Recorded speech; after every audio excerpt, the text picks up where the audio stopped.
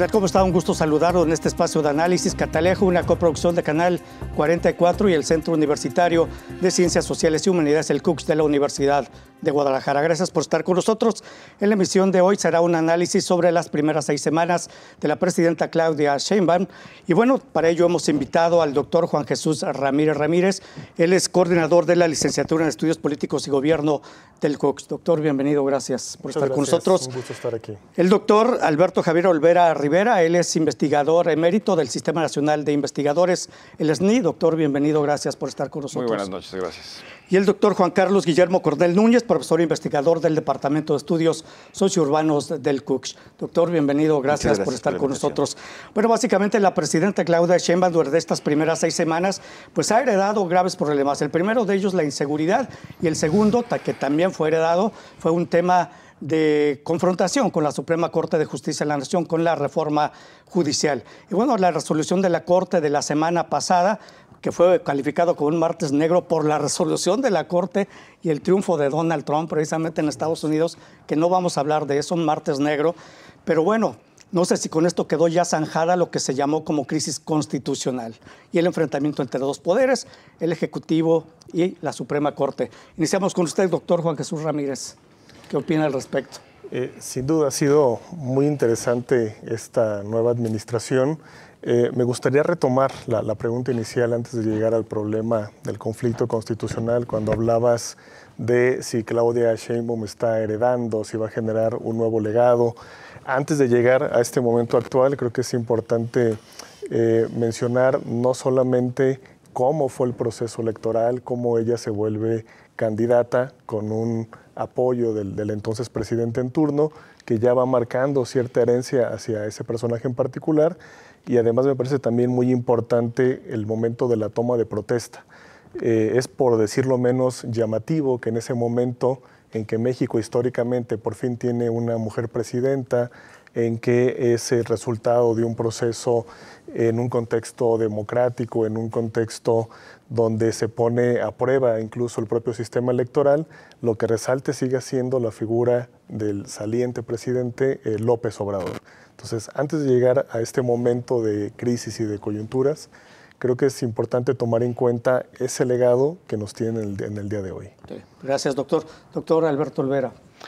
Siguiendo en esa línea de análisis, creo que es importante decir que nos enfrentamos a un proceso inédito a nivel mundial, diría yo. El gobierno de López Obrador fue clásicamente populista y el populismo significa la encarnación del poder en un líder el poder no solamente se concentra, sino que se encarna, eh, está concentrado en una persona. Y no hay casos de que después de la salida del poder de ese líder pueda continuar el régimen en su misma naturaleza, en su misma forma. Estamos ante un esfuerzo inédito de institucionalización de lo que fue un régimen populista, cosa que no es posible de hacer porque el principio central de ese tipo de regímenes, que es la encarnación del poder, no puede reproducirse en la misma forma. Entonces estamos en un momento de tensión, de, transición realmente, porque no sabemos cómo es que la presidenta electa puede asumir verdaderamente la autoridad y la legitimidad que ha heredado originalmente del líder. Entonces, creo que eh, en este momento las tensiones que observamos, problemas de gobernabilidad, eh, desorden en materia de seguridad pública, eh, falta de definición todavía de muchas políticas públicas, tiene que ver con este carácter inédito del proceso que vivimos. Gracias, doctor. Doctor Juan Carlos Coronel. Este, primero, yo creo que Alberto te contaba muy interesante, es el, problema de si Andrés Manuel es populista. Dices, lo primero que caracteriza es la continuidad. Y ahora Andrés Manuel ya desapareció de la escena. Es decir, las categorías populistas que durante seis años se le atribuyeron ya no aplican, ¿no? Entonces, a lo mejor era otro el concepto que tenía que usarse que el de populismo. Regresando al caso de Claudia, yo creo que ahí ella misma lo ha dicho, eh, siempre eh, es continuidad con cambio. Es decir, ella se plantea como parte de un proyecto político del que también forma parte Andrés Manuel y todos los del movimiento Morena. Y en eso hay una cierta continuidad, no solamente con los programas sociales, sino con nuevos programas sociales, como es el, de las becas para los niños de, preescolar, digo, de, del sistema educativo básico, los apoyos a las, mujeres de 60 a 64 años y el programa de salud en su casa para apoyo a los adultos mayores. Pero hay diferencias. Yo alcanzo a ver que Claudia, a diferencia de Andrés Manuel, es mucho más organizada, es mucho más minuciosa en la presentación de sus políticas públicas, mucho más trabajo de planificación en el asunto. Creo que Andrés Manuel eh, tenía un liderazgo indiscutible y, tomaba decisiones muy fuertes, muy trascendentes. Y Claudia ha sido más cuidadosa en términos de ir presentando pues, el programa de, energía eléctrica, el programa de seguridad pública, cada uno de ellos como bien trabajado. ¿no? Y una última cosa, yo creo que me parece importante que así como Andrés Manuel de alguna manera reivindicó a los más pobres, al pueblo, a los, adultos mayores, uno ve los eventos de Claudia cómo las mujeres se sienten como identificadas y representadas. Y eso es interesante porque es continuidad, pero es cambio. O sea, uno ve mujeres y ve a mujeres jóvenes celebrando la participación de Claudia. Y eso me parece que es interesante. Sí. Menciona doctor Juan Carlos Cornell que Andrés Manuel tenía un liderazgo indiscutible. En el caso de Sheinbaum no lo tendría así, yo preguntaría. Ella tiene un liderazgo que puede ser discutible y pregunto esto, ¿podrá ella imponer su propio estilo de gobierno? Porque está muy acotada, ¿no? Ella para imponer su propio estilo. No tiene, obviamente, a su favor la Cámara de Diputados, tampoco el Senado, y como ya mencioné, el Partido Morena, pues tampoco le dejaron ahí contrapesos muy importantes. Y la pregunta es, ¿ella podrá imponer su estilo de gobierno o ese con ese liderazgo indiscutible que tendría Andrés Manuel López Obrador. Sí, esto, algo de lo que han mencionado, pues ya lo vimos en otros momentos. Esta idea de la continuidad con cambio, por ejemplo, pues tenemos un partido como tal que lleva ese nombre, ¿no? El Partido Revolucionario Institucional, de alguna forma está hablando de un cambio que se está estabilizando o de una continuidad con, con cambio, para decirlo en, estas palabras. Eh, el asunto es que, a diferencia de lo que ocurrió con el prismo en su momento, que le tomó muchas, muchos años, que le tomó décadas institucionalizarse a través de sectores, a través de organizaciones, eh, Morena no tiene esa vigencia y lo que señalaba Alberto, que ya lo, lo, podrá explicar mejor, esta idea eh, populista de Andrés Manuel, es indistinta a si Andrés Manuel se mantiene o no, si busca reelegirse o no, porque tiene que ver con otras características. Tiene que ver con esta generación de un pueblo bueno y un pueblo malo, de generar un enemigo ante el cual ser un opositor. Y quiero resaltar la parte de esa personalización, porque es precisamente eh, lo que distingue en este momento a Morena como un partido que no se ha institucionalizado, como un partido que sigue dependiendo de una gran figura, a diferencia de lo que fue el prismo en su momento, que logró institucionalizarse en sectores, que logró redistribuir el acceso a ciertos cargos. Entonces, para Claudia va a ser muy complicado ante un partido que le rinde pleitesía, ante un partido que cambia algunos, eh, algunos vitoreos, algunos cánticos, pero que hacen total referencia a ese gran líder que sigue estando eh, presente en sus corazones, en su pensamiento, que no está en Palacio Nacional, pero que sin duda está en todas sus decisiones. Sabe? A lo mejor sí está por ahí. pero aparte el presidente está hasta en las mañaneras, porque la propia presidenta lo menciona casi diariamente. Bueno, en la toma de protesta, Claudia dijo, el presidente ah, López Obrador, ¿no? Tuvieron que corregirle. Por supuesto. Permítanos, vamos a hacer una pausa, regresamos, esto es Catalejo.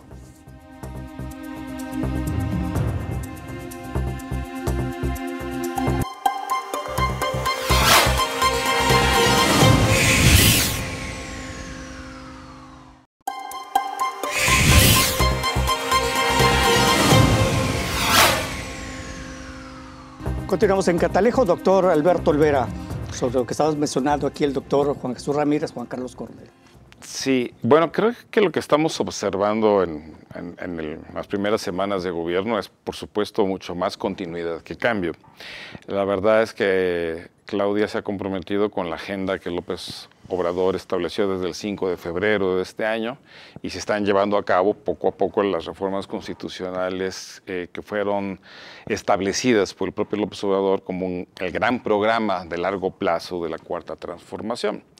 La primera de ellas siendo la reforma judicial, pero siguen en su camino eh, la desaparición de los órganos autónomos y otras serie reformas más. Estas dos que acabo de mencionar siendo las más polémicas de todas ellas.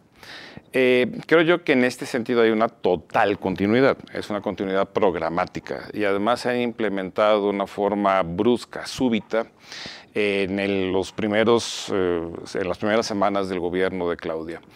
Creo yo que en este sentido la presidenta no solamente está limitada, precisamente por lo que comentabas hace un momento, porque no tiene eh, sus representantes propios en las cámaras, ¿no? sino que los líderes parlamentarios de su partido en realidad emergen de una carrera con López Obrador y han tenido una fidelidad al expresidente.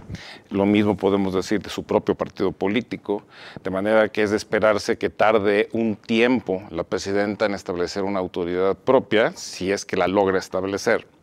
Por ahora, eh, los conflictos heredados le están pasando un costo político importante.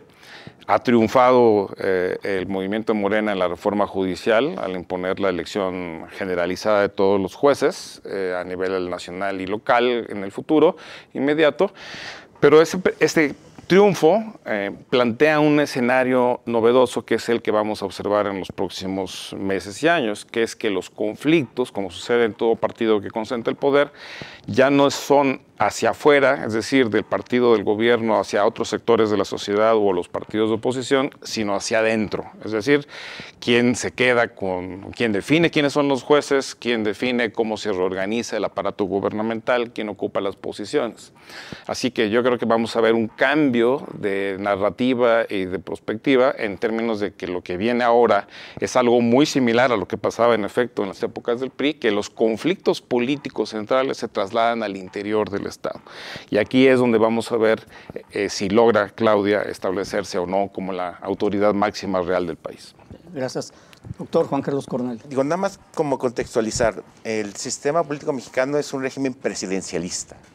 Eh, lo vimos con un presidencialismo más fuerte en el periodo del, del clásico, pero fue un sistema presidencialista eh, incluso en el, en el proceso de la transición y yo creo que es una cosa que no acabamos de medir completamente cuando Andrés Manuel hacía ejercicio de su autoridad. Siempre decían, es que es un autoritario, es un dictador. Y yo creo que lo que estaba haciendo era un ejercicio de recuperar las facultades presidenciales que tiene este régimen político mexicano. Y en ese sentido me parece interesante lo que dice el, doctor Olvera. Si en la transición, que es inédita, de un gobierno de izquierda, donde un gran líder deja su lugar a una candidata electa por sus simpatizantes y electa por los ciudadanos, asume ese lugar. Me parece que es una cuestión inédita y más en un contexto presidencialista. Es decir, este es un régimen presidencialista y tiene frente a sí algo que me parece que Andrés Manuel no tenía. O sea, Andrés Manuel no tenía la mayoría calificada de los dos congresos, del Congreso y del, del Congreso, de la Cámara de Diputados y el Senado.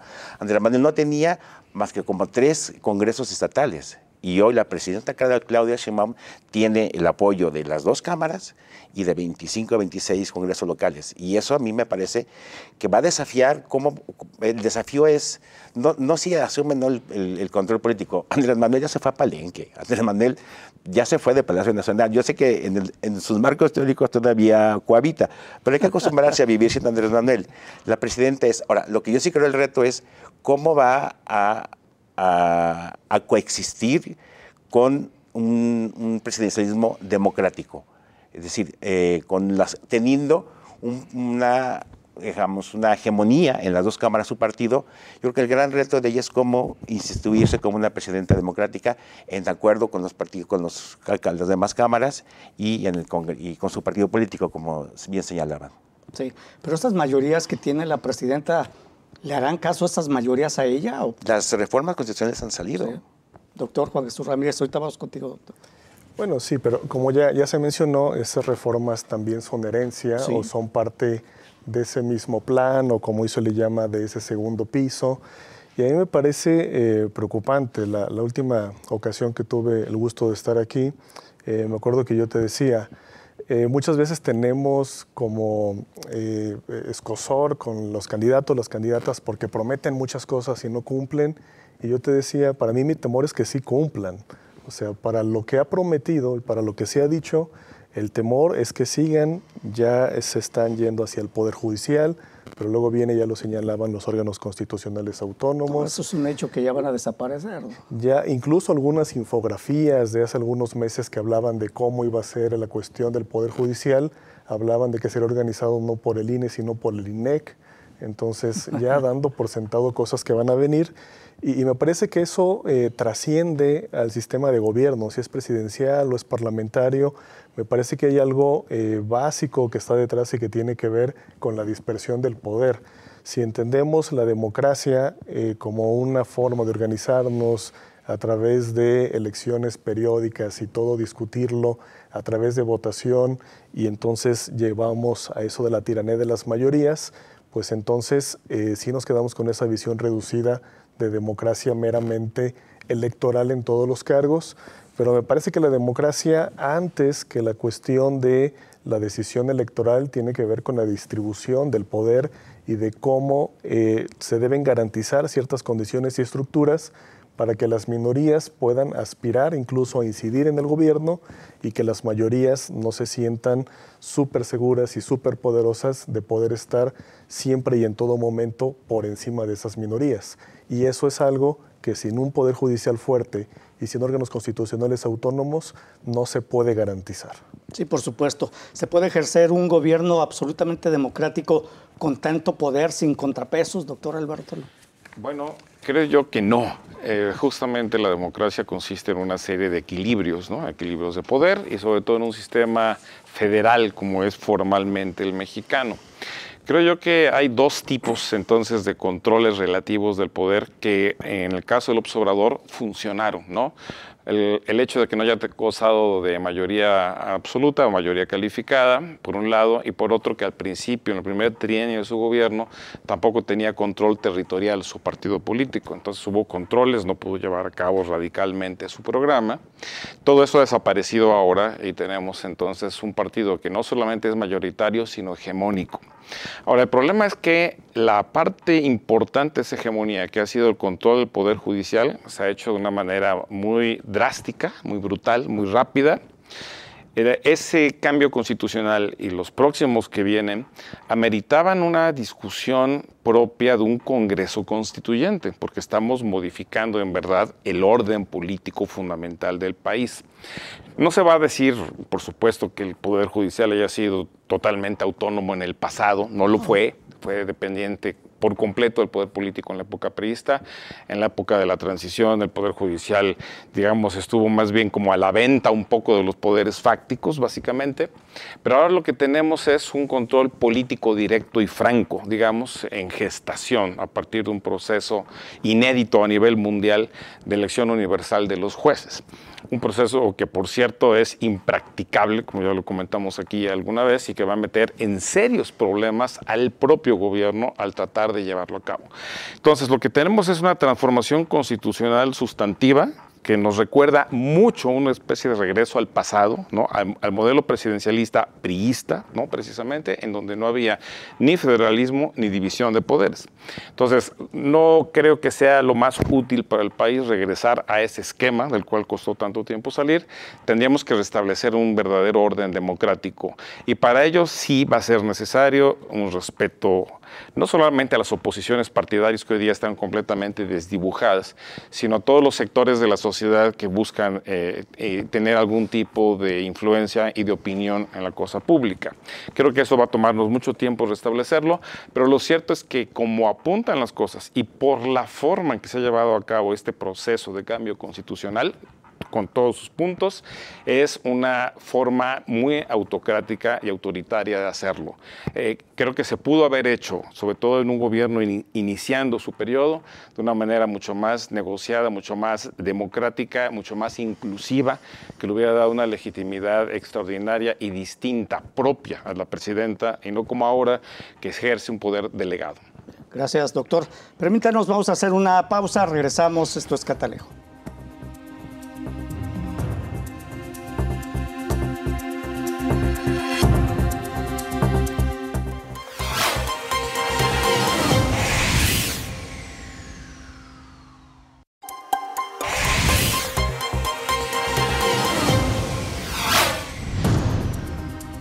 Continuamos en Catalejo, gracias por ser con nosotros. Doctor Juan Carlos Cornell, ¿se puede ser, como le preguntaba, absolutamente democrático con un gobierno sin contrapesos, como es el de la presidenta Sheinbaum?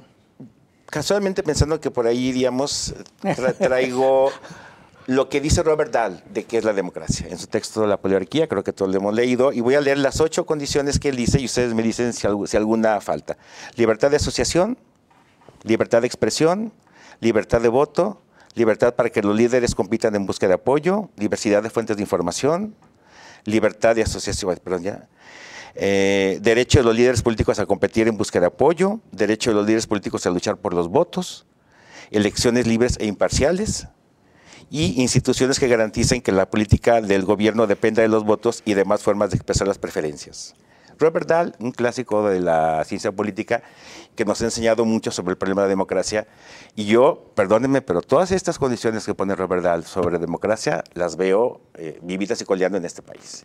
Y con respecto a lo de Claudia Sheinbaum, me parece que es, eh, desconocer la legitimidad que le da 36 millones de votos, 36, 39, ya no, ya no me acuerdo, este, que fuera una elección libre, competida y democrática además, anterior a eso, compitió junto con otros tres compañeros, con Noroña, Ebrard este, y Monreal, si mal no recuerdo, gana una elección interna con medios, eh, una encuesta, luego gana una elección presidencial y todavía le dicen un poder delegado. O sea, me parece que es faltarle al respeto al a los 36 millones de mexicanos que votamos por ella, faltarle respeto a todo el sistema democrático, al sistema institucional electoral de este país y, y todavía más decir que ojalá los políticos no cumplieran lo que dicen en campaña, ¿no? Ella.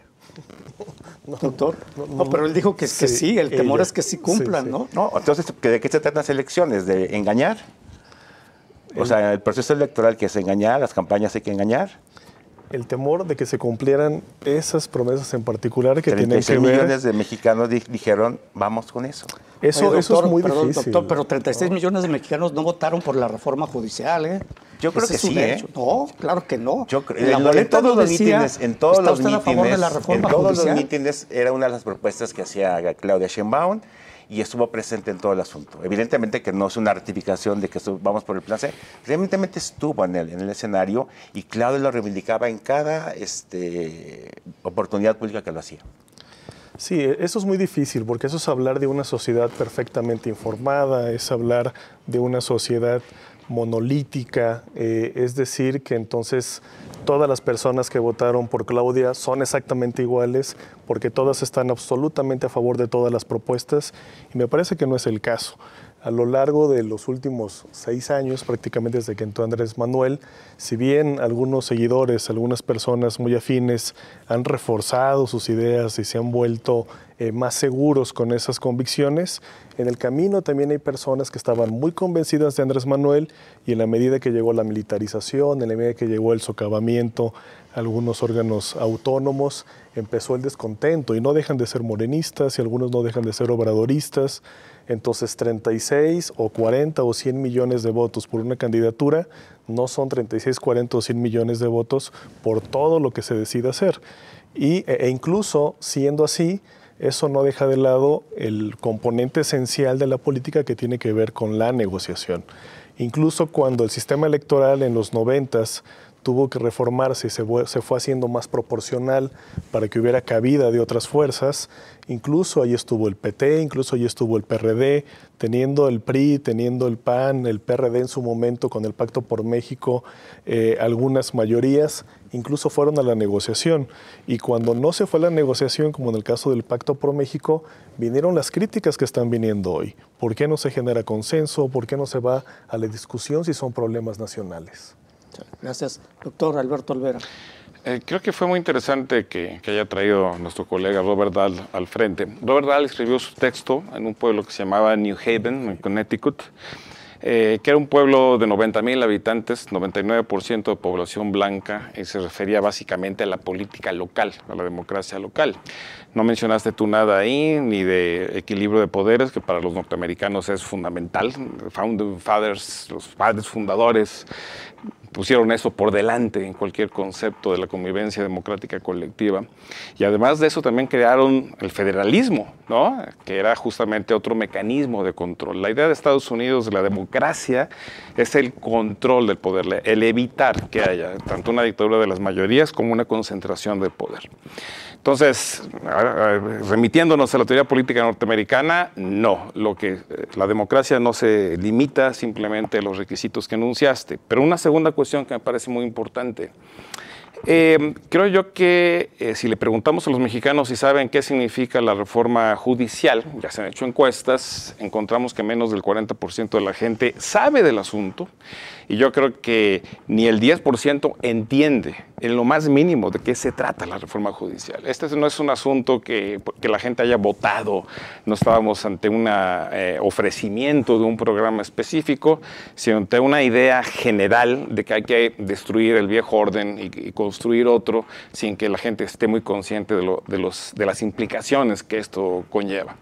Creo que de todas formas es importantísimo considerar que sí, en efecto, hay muchos defectos del viejo régimen y que es muy importante cambiarlo. Y hay consenso nacional, sin duda, respecto a que había que hacer una transformación política radical. El problema son las formas y los contenidos. ¿no? Las formas autoritarias, un constitucionalismo por imposición inmoral, porque además se hizo comprando senadores y diputados. Hay que recordar que 40% de los mexicanos no votaron por este programa y bueno, 40% de los mexicanos no es una minoría despreciable. Eso significa que hay que negociar con ese 40%. Segundo lugar, eh, el contenido, eh, la destrucción de esas instancias de control y de equilibrio.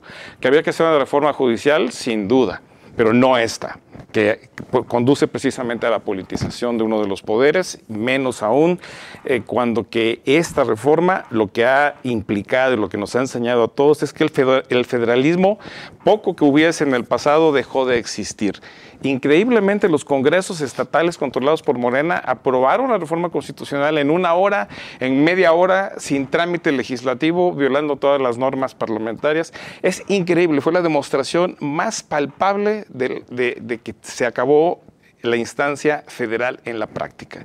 Entonces, creo yo que esto no es bueno para la presidenta, en verdad no es bueno para ella. Está eh, cargando un peso político de una forma autoritaria de imponer los cambios que le va a acarrear un peso sin que en realidad, creo yo, en lo personal, haya sido su decisión eh, llevar a cabo estos procesos con esta rapidez y de esta forma. Esto que llamaron algunos especialistas como crisis constitucional quedó zanjada, doctor Alberto Olvera, con la resolución de la Corte del martes pasado, de decir, ah, bueno, pues nosotros no tenemos facultades para revisar reformas constitucionales. Nos metemos en un problema aquí. La, la, la, tradición jurídica de la Suprema Corte Mexicana está muy marcada por su herencia autoritaria, viene de la época autoritaria, ¿no? Entonces, en verdad, había una escuela de pensamiento dentro de la Suprema Corte de Justicia que determinaba que la Suprema Corte no puede cambiar ningún elemento de la Constitución. En esta última ocasión, los ministros quisieron adoptar una nueva doctrina jurídica que tiene presencia y que tiene importancia a nivel internacional, que se ha usado en precedentes en la India, en Israel y en Sudamérica, que dice que hay instancias de, la, de una eh, constitución democrática que no se deben de cambiar. Precisamente el equilibrio de poder es uno de los elementos centrales de una democracia operativa. Entonces, diciendo que esta reforma modificaba esa esencia, es que quisieron algunos de ellos tratar de impedir que se llevara a cabo. Desde el punto de vista de las trayectorias jurídicas y de las tradiciones, en efecto, no tenían la capacidad de tenerla. Jurídicamente eso ya se zanjó, ha ganado la, la versión oficial, se va a llevar a cabo la reforma judicial y ahora el gran reto va a ser qué pasa en este país una vez que se trate de implementar, ¿no? ¿A qué, a qué consecuencias nos lleva?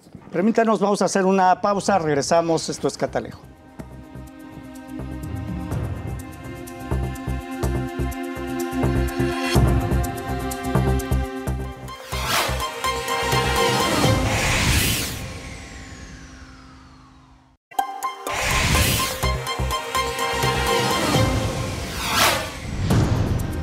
Continuamos en Catalejo. Gracias por estar con nosotros. Bueno, dice el doctor Alberto Olvera, ahora viene la reforma judicial. ¿Cómo se va a implementar una reforma judicial y un proceso de elección que costará 13 mil millones de pesos? La elección presidencial costó 8 mil millones.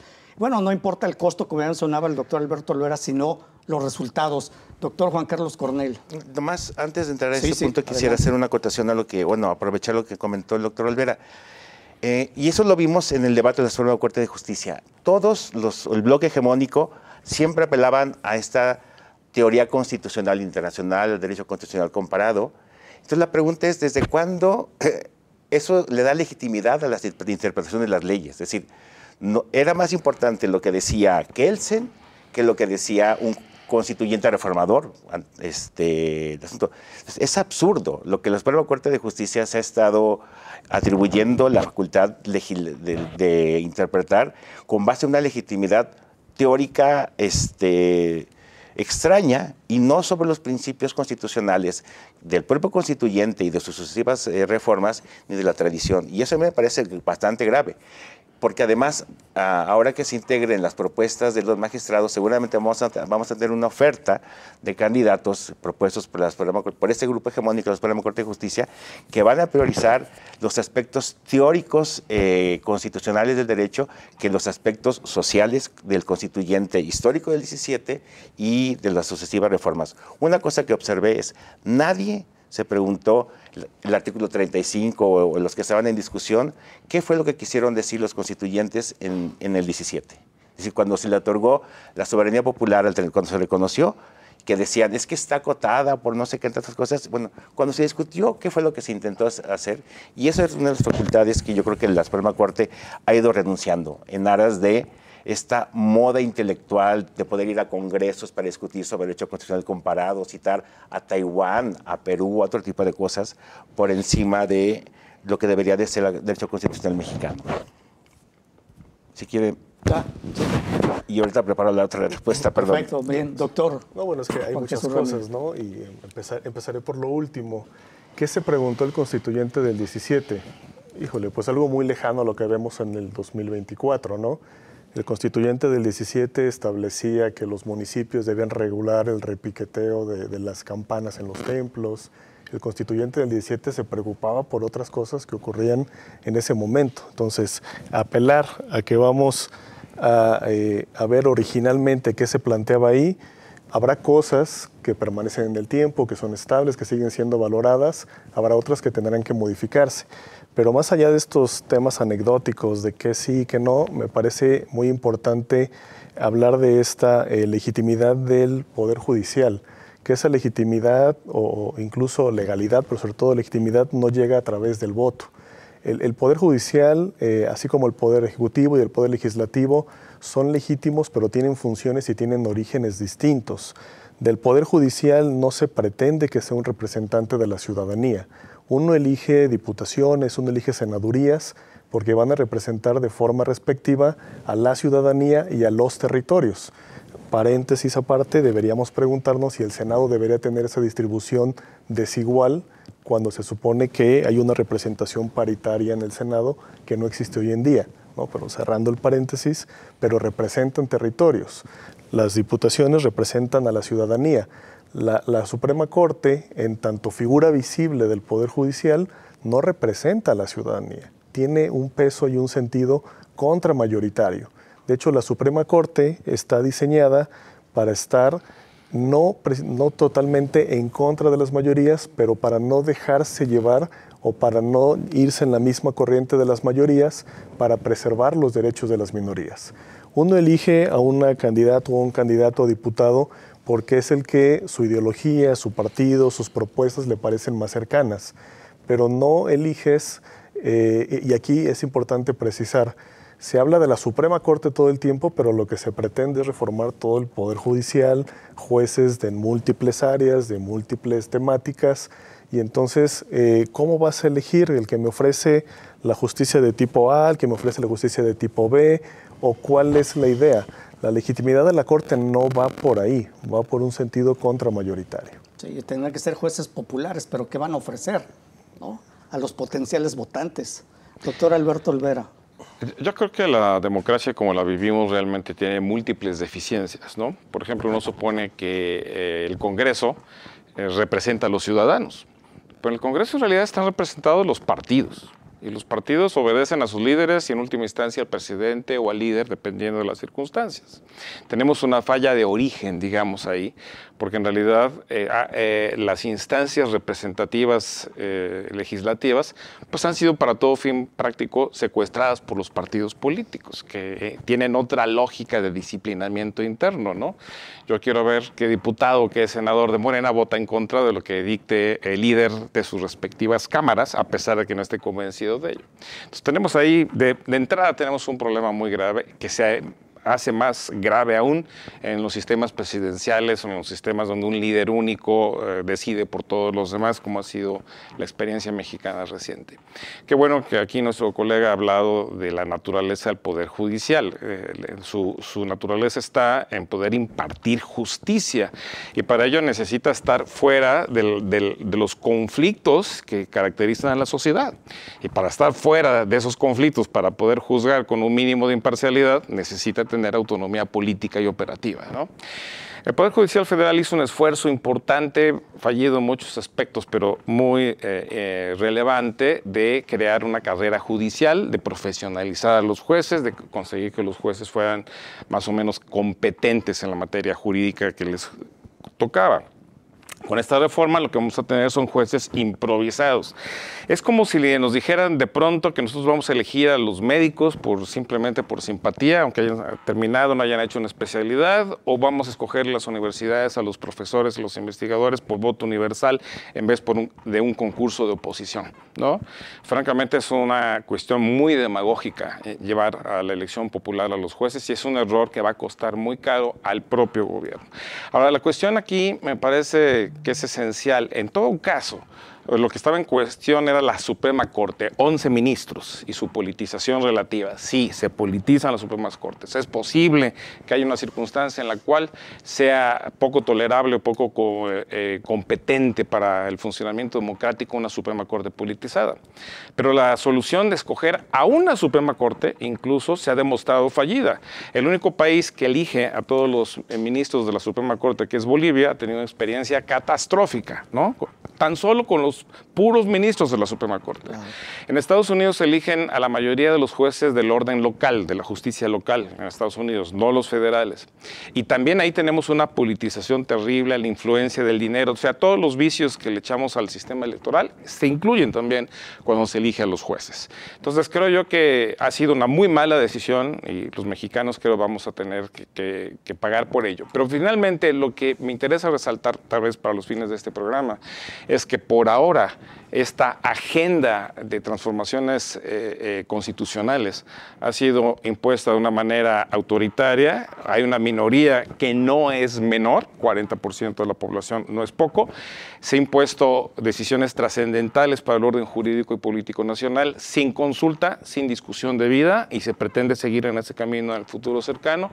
Y me parece que eso es una ruta muy peligrosa porque puede construir los cimientos de un autoritarismo que en efecto hoy no existe. No estamos en este momento viviendo una situación autoritaria.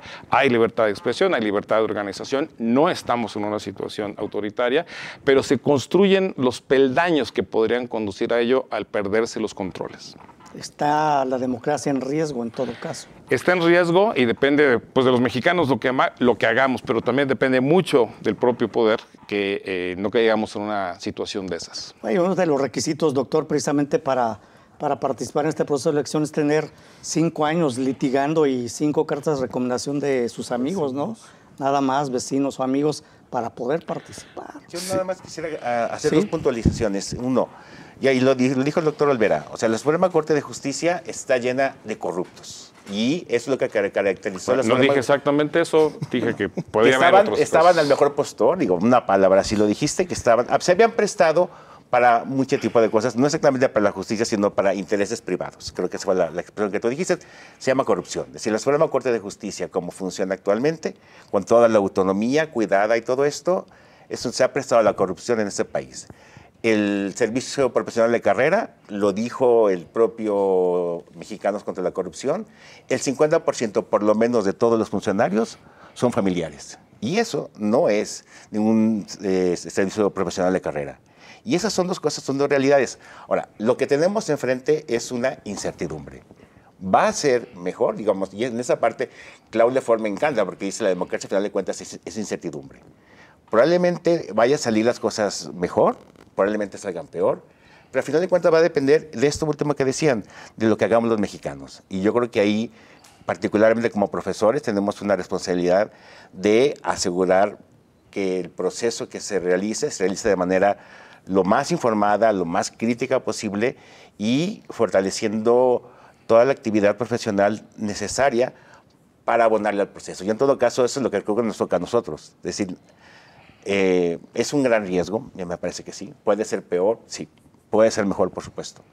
Pero va a depender de los mexicanos y va a depender también de la sociedad civil, de los profesores, de cómo intentemos participar y orientar. Si nos dedicamos solamente a decir, así no, vamos a dejar pasar una oportunidad este, y sobre eso vamos a tener que rendir cuentas en algún momento, ¿no? O sea, pudiendo haber aportado algo para que el proceso fuera llevado de la mejor manera, este, o simplemente nos dedicamos a no estorbar y ya luego veremos las consecuencias. Yo en todo caso ahí pensaría que es una responsabilidad ética como profesionistas, como especialistas en la política, encontrar la manera de aprovechar esto que ya va a ocurrir, esta legitimidad democrática de los jueces, magistrados y ministros, va a ocurrir.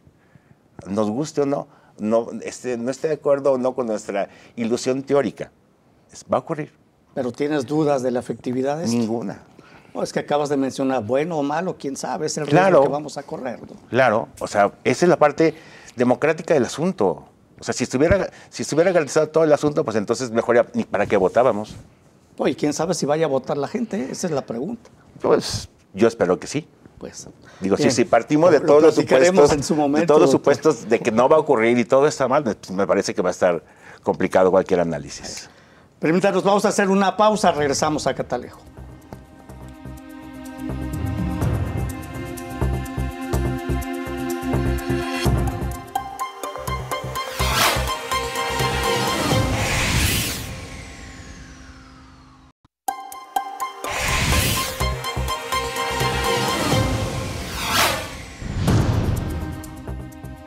Gracias, llegamos a la parte final de Catalejo. Ocho minutos nos quedan en este segmento, así es que les pediré sus conclusiones sobre el tema, sus acotaciones finales, observaciones finales o lo que quieran comentar al respecto. Doctor Juan Jesús Ramírez, iniciamos con usted.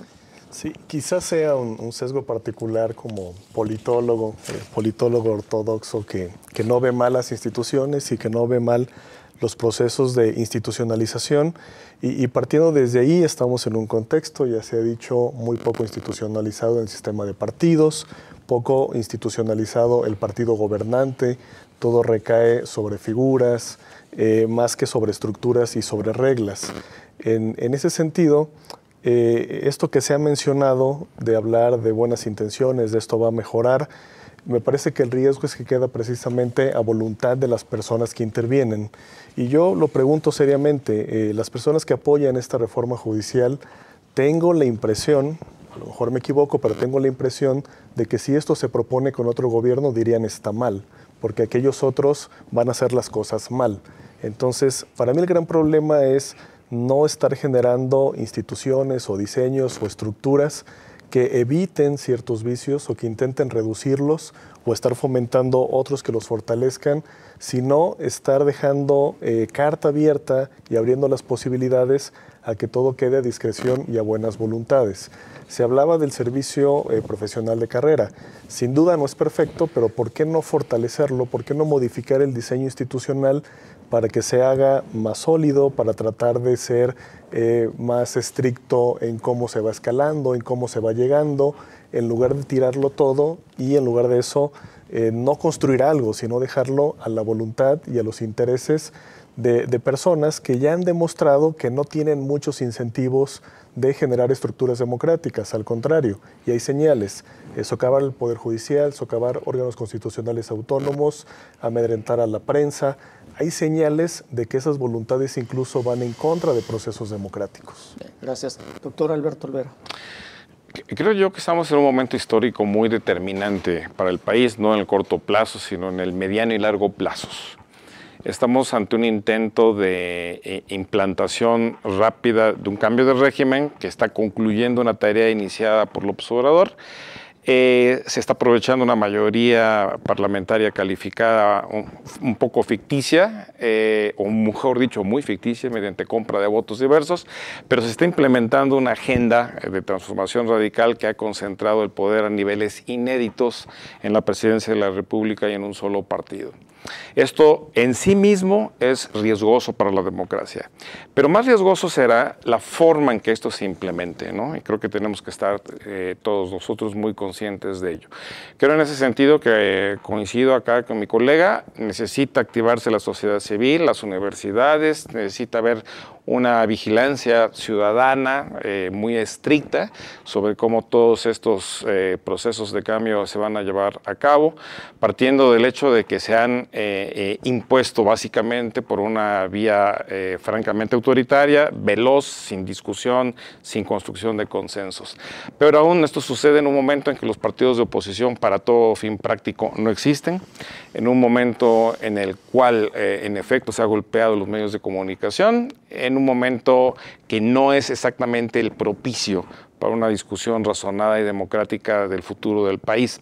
Entonces creo que es urgente una activación civil, urgente tener una responsabilidad cívica frente a la circunstancia y asumir precisamente que la crítica que hacemos gente como yo en lo personal a, acciones del gobierno, pasado y actual, no corresponden a una destrucción, ¿no? sino a una idea de que la crítica debe servir para ilustrar de alguna forma los riesgos que implican estos procesos de cambio. Y creo que junto con esta llamada de atención, en todo caso, que es lo que podemos hacer los intelectuales, nos toca también, en efecto, una, responsabilidad cívica, que es la de llamar a actuar, a actuar democráticamente, actuar para construir alternativas funcionales que eviten los riesgos autoritarios en marcha. Doctor Juan Carlos Cornell. Rápidamente, yo creo que hay una corriente teórica entre los politólogos que confunden democracia con instituciones. Yo creo que se les olvida que el sentido de la democracia es demos y kratos, que es poder del pueblo, y es el problema de la soberanía popular. Ponen énfasis más en los procesos, en las instituciones, que en la soberanía popular, pero bueno, es un sesgo, digamos, es una corriente teórica bueno, una concepción de unos politólogos compartida por Jesús. Pero bueno, me quedé con ganas de seguir discutiendo los problemas que enfrenta la presidencia Claudia Sheinbaum y solamente quisiera enumerarlos. Yo creo que el principal reto que, que, va a enfrentar va a ser el problema del presupuesto, porque todas estas sobredemanda de programas sociales, etcétera, etcétera, ya hay una, ha anunciado una serie de cosas, me parece que es un tema importante que va a enfrentar y que va a poner, eh, digamos, atención su liderazgo. Dos, yo creo que la elección de Trump en la pasada, la semana, la semana pasada, va a ser un elemento que va a hacer que la presidenta, digamos, no solamente por la misoginia del presidente, sino por el proyecto de país que estaba teniendo. el presidente llega con un conjunto de billonarios que lo único que van a intentar es ver cómo hacer negocios por encima de lo que se esté, pensando en México. Y eso, me parece que eso, va a ser el siguiente problema que Claudia va a enfrentar, digamos, de manera estratégica. Eh, y el de la seguridad ciudadana, ¿no? Digamos, eh, digamos, lo mencionaste un poco al principio. Eh, yo creo que la iniciativa de la reforma de la Secretaría de Seguridad digamos, fortaleciendo las labores de, eh, ¿cómo se llama?, inteligencia, investigación y coordinación de parte de la Secretaría de Seguridad Ciudadana por encima de la Guardia Nacional, de las, del Ejército, no solamente intenta recuperar el sentido civil del asunto, sino de fortalecer una estrategia de combate más directo. Además de continuar lo que se ha dicho, que es el combate a las, a las causas de la violencia, parece que sí hay una estrategia interesante que habría que estar al pendiente en los próximos días. Pues muchas gracias, les agradezco a los tres que han estado con nosotros en esta emisión de Catalejo. Doctor Juan Jesús Ramírez, muchas gracias. Un gusto estar aquí. Doctor Alberto Olvera, como siempre, muy agradecido. Un placer, buenas noches. Doctor Juan Carlos Cornel, muchas gracias. Muchas gracias. Muchas gracias a usted, nos vemos y escuchamos en la siguiente emisión de Catalejo. Hasta luego.